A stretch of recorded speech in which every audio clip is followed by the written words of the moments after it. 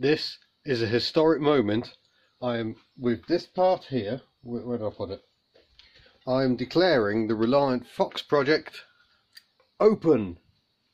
This is um, a tailgate hinge. I think it's actually from a robin um, or a kitten, um, but this will replace the broken hinge on the top of the Fox. And I know you're thinking, come on, surely a bigger problem is the complete lack of an engine fitted to it. But um, I want to be able to store bits in the back and some bits are already stored in the back. So getting the tailgate working is kind of essential. And this is stage one on that particular journey. Um, I think a good old wire brushing is in order and possibly a soaking Coca-Cola. Other brands are available. And in fact, are what I have. I think they're from the co-op. So um, yeah, let's get started. Now, I did say I was going to have a tidy up before getting started on the Fox. But seeing as the 2CV is in here still, and um, the Fox isn't, I'm going to declare tidying up out of the scope of this first project. Um, I might need a new wire brush though. I want to see better days. Hey, there's some bristles left. We'll give it a go in. And there we are, stewing away in a vat of cola. We shall leave that, and the project shall continue some other day. So after its bath in Coca-Cola, um, it hasn't really cleaned up much at all. This thread is still a bit iffy, but I, have gone over it with some um, uh, WD-40 and just run the nuts up and down. They seem happy enough. So we're going to replace, oh, there we go. That hinge there, that's the one that's broken. The metal pin that runs through it to allow the hinge mechanism has just sheared entirely.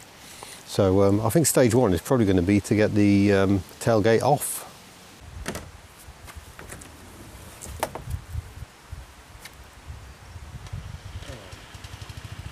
Right.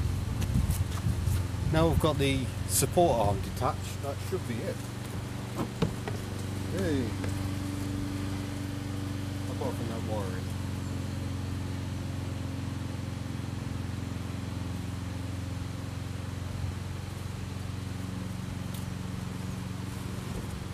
Is.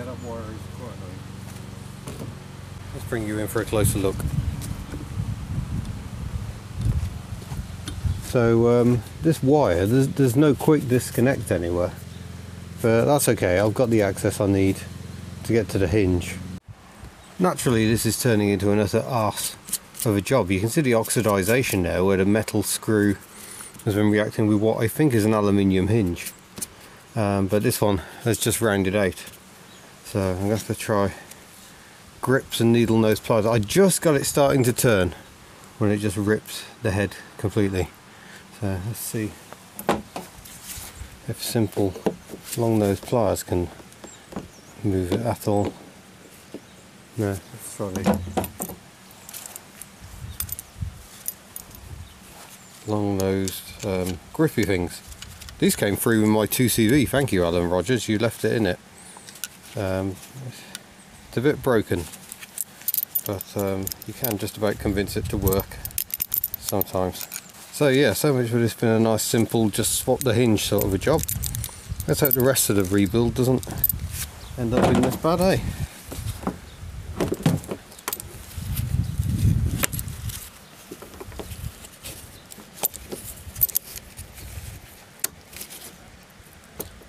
Uh, it needs to be tighter.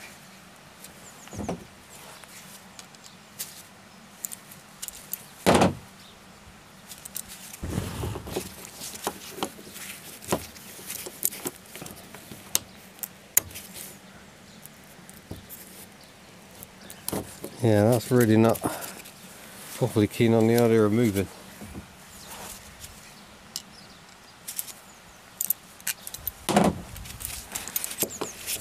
I feel we may end up drilling this one out.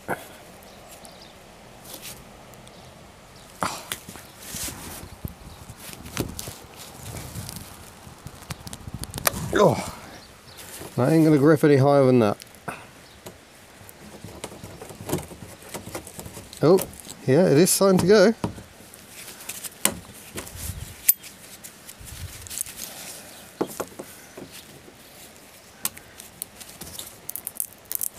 Oh, so's the fiberglass.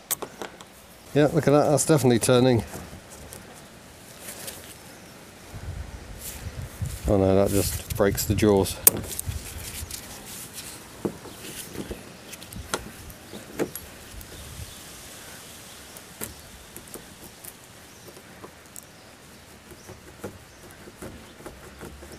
Oh, I'm going to keep buggering about with that for a bit longer. Uh, this could take a while. Aha. Come on, you dirty little screw. Hurrah. That's one dead little screw out.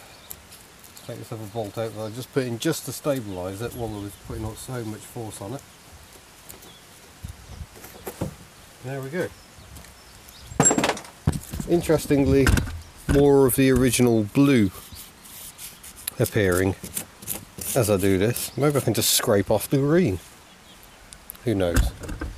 Right, uh, where did I put the new hinge? Here it is. Right, let's get this ready to go on. Voila! We have a top that stays up. I've also found out how to lower the bottom half. Um, I'm guessing there should be a check strap to kind of stop it dropping that far, or maybe not. But nonetheless, um, that's been done. So um, I now have a practical fox in my hat. Keeps falling off my head and mushrooming. Um, so that's pleasing. Now you can see we've already got some stuff in the back of here. Um, various oddments, that like a heater hose. Uh, Tiny little cooling fan, isn't that sweet? Tiny little radiator.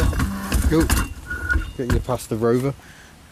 And the alternators in here, and a spare wheel. After considerably more faff, I've managed to um, get the tailgate lock working. Well, I'll say lock, I'm not sure it actually locks, but um, yeah, it does allow me to open my hatchback and close it again. So that's definitely progress. So you do that. Uh, you undo the internals. I think. Yeah, that's one of them. Oh, these these are tight. There we go. Voila! Access to my little car. Yeah. Shut that again close that again. Progress! Let's do a bit more on the old Reliant. Um, here is the new engine. Uh, it is an 850cc engine from a Robin. Uh, we've got this plug out at the back here. I've just taped over the inlet and exhaust manifolds, which are both on this side. And um, I'm going to shove some water in it. See if we can't give it a bit of a flush out. Right, let's see what happens.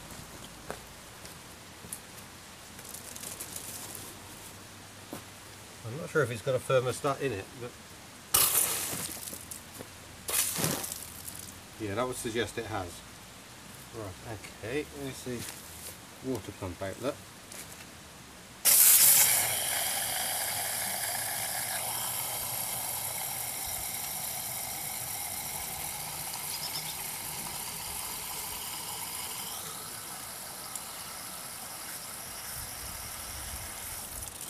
Aha, there we go.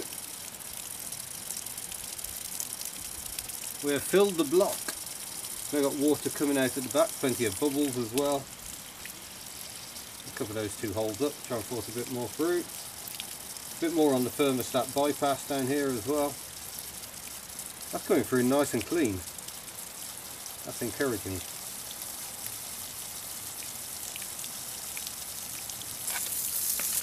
try this inlet here.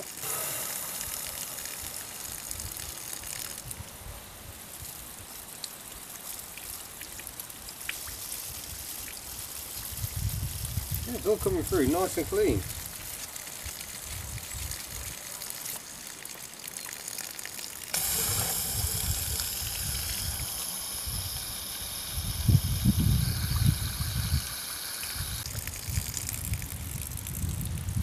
That's good. It looks like we've got good coolant flow around the engine. No leaking from the core plug at the back. Um, I wonder what's meant to screw in there. But, oh, I think there is meant to be something there. Uh, yeah, that's good.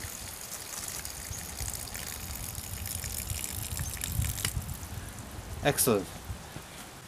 If you've ever wondered how heavy a Reliant engine is, it's about this heavy.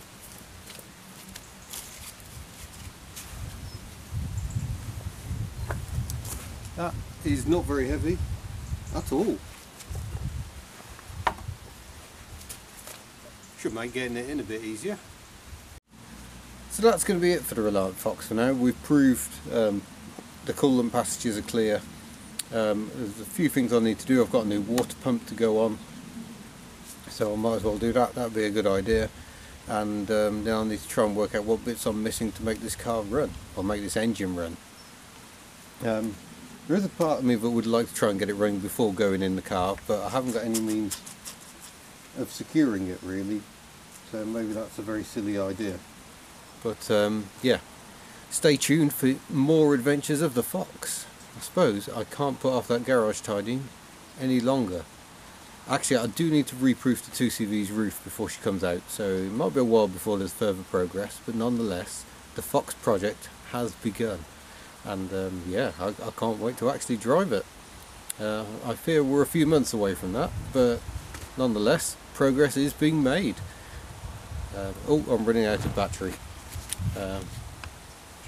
Anyway, thank you very much for watching. Don't forget to subscribe before you go. Don't forget you can buy all the Hubnut goodies uh, hubnut.fws.store and uh, I shall see you in a future video. Farewell.